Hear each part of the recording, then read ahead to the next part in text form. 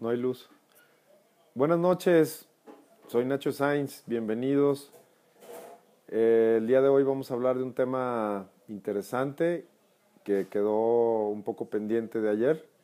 Es el tema de la eh, individualidad del perro y de la individualidad de su compañero. Es decir, en combinación, la individualidad del binomio.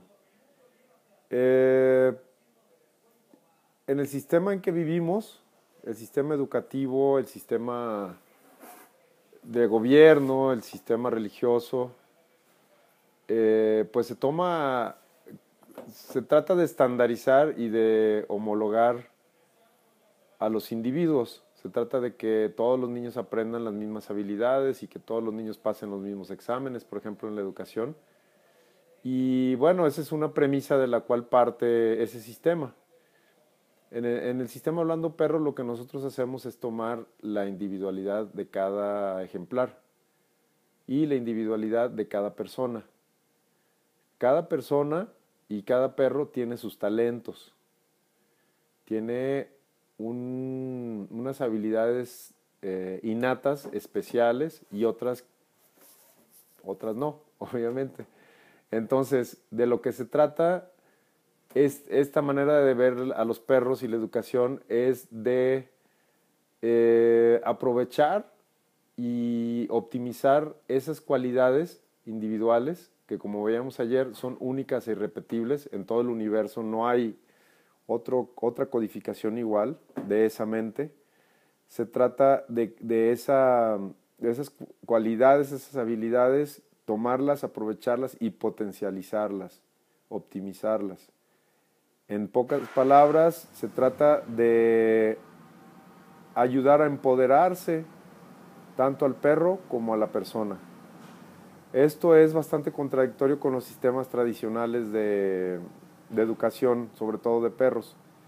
En los sistemas tradicionales de educación, lo que sucede es que el perro entra a un sistema donde no se toma en cuenta el individuo, y si el perro se acopla a ese sistema, pues va a salir muy bien librado y si el perro no se acopla a ese sistema, pues puede ser que sufra en el proceso o puede ser incluso que sea rechazado eh, porque no puede, no tiene las características adecuadas para ese sistema.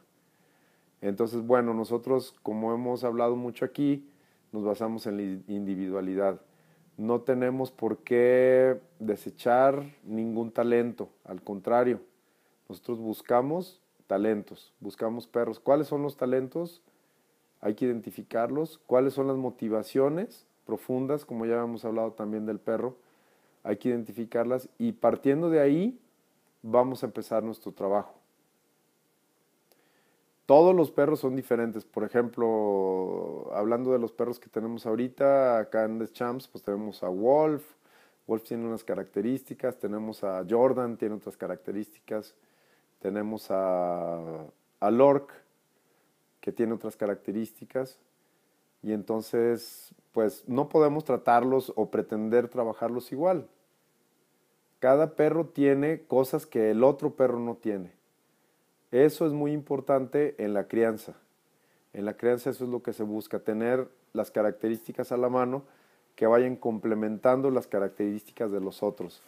Esto es un poco como el esquema de trabajo en, círculos. Eh, en la gente, hay un libro muy bueno que se lo recomiendo, no es de perros, pero está muy bueno, a mí me, ha ayudado mucho a comprender cómo se está moviendo la sociedad y el sistema en, en las redes sociales y todo eso. El libro se llama Tribes, Tribus, es del autor Seth Godin. Ahí él habla de cómo uno de los instintos mayores que tenemos es el, instinto, el, buscar pertenecer a una tribu. Y lo que nos une y lo que nos hace permanecer y ser leal a la tribu son nuestros valores y nuestras creencias. Entonces, lo que queremos es sumar en Hablando Perro. No queremos restar, no queremos discriminar, no queremos descartar. Lo que queremos es que el perro, sea sean cuales sean sus habilidades, nosotros poder trabajar con él. y tenemos que ser muy claros y muy, muy precisos en lo que observamos en el perro para que podamos trabajar, pero si no lo tenemos conocido, pues es difícil. Eh, voy a saludar un poquito aquí, no he saludado a nadie, voy rápidamente. Saludos a Gus, Vergara, Iván, Cachuy, Rod de Costa Rica, Juan Jacobo, saludos, gracias, que te, me da mucho gusto que les interese este tema. Juan Grijalva, saludos. Salvador Vergara, gracias por estar aquí. Gerard, buenas noches, no se me ha olvidado tu encargo. Eh, te voy a mandar la información de, para hacerte llegar o llevarte personalmente a tu cachorro. Vamos a hacer todo lo posible para ir a Uruguay. Carlos Cadena, bienvenido. Y bueno, pues continuando con el tema, yo no puedo esperar que un perro se comporte igual que el otro. Yo no puedo esperar que Wolf se porte igual que el Orc, porque son diferentes. Y yo no puedo esperar que todos los perros, sería una tontería desde mi punto de vista, esperar que todos los perros se adapten a mí. Esa es una cosa súper egoica. Se supone que el bueno soy yo, se supone que el de la inteligencia es el humano. Entonces, eh, una persona que realmente domine este tipo de cosas debe de poder llevar a su máximo nivel a, a todos los perros. ¿Sí? porque es un trabajo de alianza. Y la alianza se hace a nivel de la mente. Es decir, eh, esa, esa uniqueness que tiene ese perro, ese ejemplar, y ese uniqueness que tengo yo se deben de reconocer. En todo caso, tengo que adaptar al mío para poder hacer alianza con ese perro y hacer un buen trabajo. Entonces, esto cambia todo el, esquema de entrenamiento tradicional porque hay que entender que, hay que, entender que esos, esos esquemas salieron de la milicia, del ejército.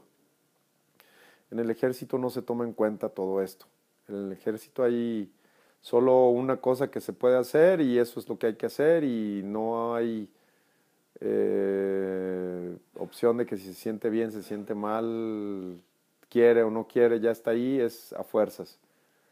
Entonces, ese es el esquema con que empezó el, adiestramiento tradicional. Ahora, una cosa es educar, otra cosa es adiestrar, otra cosa es entrenar, otra cosa es domar. ¿sí? Busquen en, la Real Academia de la Lengua Española y ahí van a poder ver las diferentes definiciones. Eh, en el caso del entrenamiento, del adiestramiento tradicional, lo que se busca es condicionar, es decir, que el perro repita una secuencia y generalmente el estímulo que recibe es un estímulo negativo cuando no logra lo que el manejador espera que el perro haga. Entonces ahí no se, no se desarrolla la capacidad de decisión del perro, no se fomenta la inteligencia del perro es un esquema que funciona, pues sí funciona, por eso existe, que tiene sus limitaciones y tiene el perfil de las personas que les gusta eso, como ya les hablaba en otra ocasión. En realidad lo que tiene que ver aquí más que nada somos nosotros como individuos y el perro como individuo. Si nosotros estamos en sintonía con una manera de pensar por nuestra historia de vida o por nuestra vida actual o por lo que queremos, por lo que creemos, por nuestros valores, nuestras creencias. Entonces vamos a, resonar más con un sistema o con otro. Em, en el caso de Hablando Perro, buscamos de entrada que el perro sea inteligente, que el perro sea dispuesto, que, que al perro le guste aprender, que al perro le guste pensar, entonces, este sistema lo que hace es buscar la alianza desde la mutua conveniencia. Es decir, lograr que al perro le convenga y le interese hacer lo que nosotros también queremos que haga. Y lo que hacemos para lograr eso, pues primero es establecer una relación de confianza donde el perro sepa que no nos lo vamos a voltear y, a dar una patada o dar un jalón con un collar de, de picos o lo vamos a ahorcar o le vamos a dar un shock eléctrico. Eso es como una traición para el perro. Si nosotros nos comportamos de cierta manera en la vida, pues yo creo que sería de esperarse que para el perro que nos comportáramos de esa misma manera siempre no que de repente nos convirtamos en unas personas totalmente diferentes porque estamos en un campo de, entrenamiento o en, un, en una competencia o en... O un, un caso muy típico que les voy a platicar es que me platicaron alguna vez de un cachorro que yo vendí. Varias veces me ha pasado esto y me dicen, oye, pues Nacho, fíjate que llevé a mi perro que me vendiste, lo llevé a, con un entrenador y, y el perro, pues que se portó no sé cómo, ah, sí, a ver qué pasó. No, pues este, llegamos y me dijo el entrenador que le pusiera un collar y que lo detuviera. Y entonces luego el entrenador llegó a pellizcar al perro. Y el perro pues no, no quería, o sea, le daba miedo y todo. Y le digo, bueno, mm, ok, ¿te das cuenta que en realidad tú estás deteniendo a tu perro para que un extraño vaya y lo, y lo lastime? ¿Te das cuenta el, perro cómo está viendo todo esto? Tú estás obedeciendo a una persona que consideras que sabe, pero usa tu sentido común. Si, si, alguien te dice, ponme a tu perro para maltratarlo, eh, yo les digo, ¿a tu hijo le harías eso? O sea, ¿se lo detendrías a un extraño para que lo lastimara? Se los dejo como reflexión. Entonces, bueno, a, lo, que, lo que a nosotros nos gusta en Hablando Perro es explicarle al perro, negociar con el perro, intercambiar con el perro.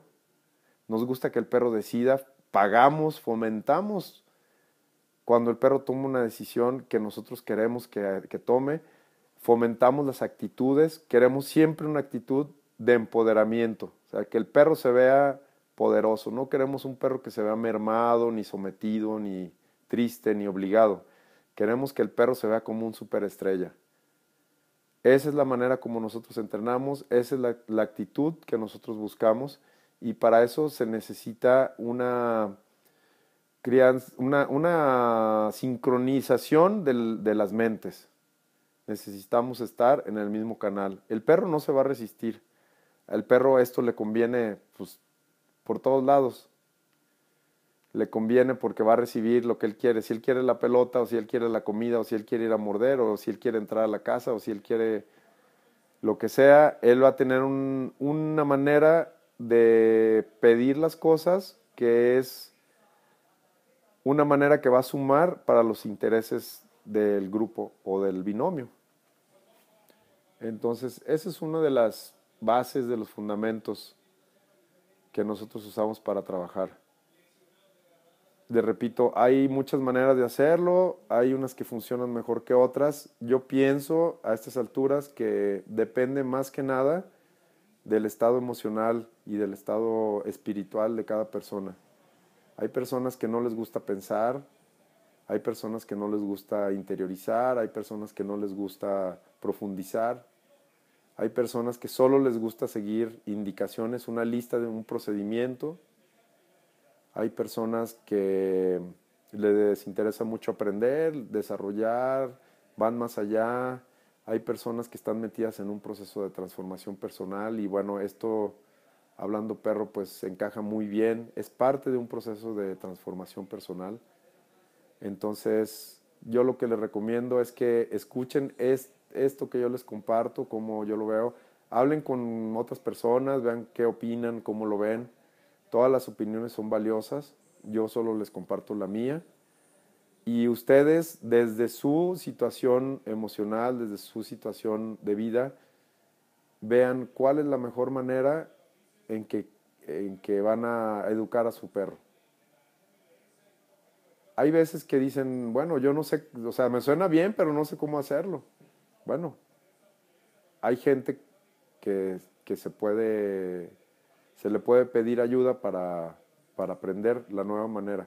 Lo importante es que la filosofía y la visión sea lo que te mueve. Eh, bueno, pues les agradezco el favor de su atención. Por favor, compartan estos videos. Si tienen alguna duda, a mí me da mucho gusto recibir los saludos, mucho. Los contesto uno por uno. Y me da mucho gusto también recibir sus preguntas y sus dudas y sus comentarios, porque eso es lo que va a seguir alimentando estas cápsulas, estos episodios, estas transmisiones. Mientras más empecemos a pensar y más empecemos a cuestionar y más empecemos a practicar, más material vamos a poder tener para seguir adelante con, compartiéndoles.